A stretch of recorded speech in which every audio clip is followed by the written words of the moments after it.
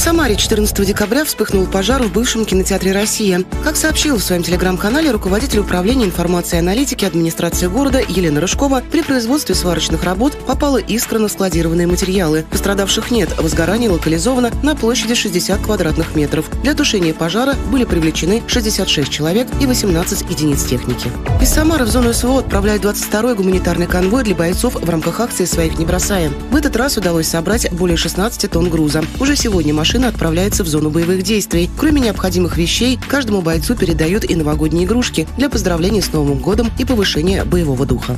Кадет из Самары стал победителем федерального конкурса «Гимна России» понятными словами. Ребята и педагоги, подавшие заявку на конкурс, должны были представить на суд жюри свое толкование слов из «Гимна России» в удобном формате. Жюри высоко оценило работу воспитанника кадетского корпуса «Авангард Самара» Романа Никишина, который рассказал, что регулярно участвует в военно-патриотических конкурсах.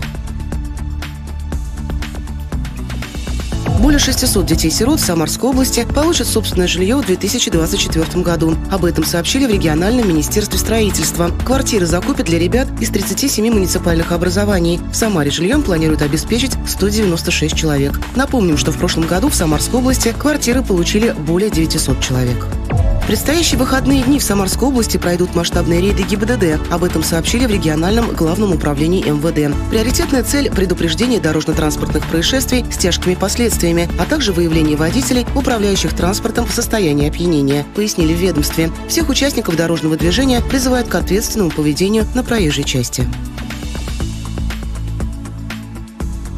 Врачи рассказали, сколько мандаринов можно съесть за раз. Точное количество, которое можно употребить в пищу, зависит от индивидуальной чувствительности человека. Тем не менее, медики рекомендуют не есть более 400 граммов мандаринов за один раз. После их употребления могут возникать изжога, боли в животе, вздутие, либо аллергическая реакция в виде сыпи и зуда кожных покровов. Большинство россиян определились, где проведут январские каникулы. 40% останутся дома, 6% будут отдыхать на даче, еще 6% в гостях у друзей и родственников. Путешествие по России планирует 4% 50% респондентов, лишь один из 100 поедет за границу, и 18% россиян в празднике будут работать.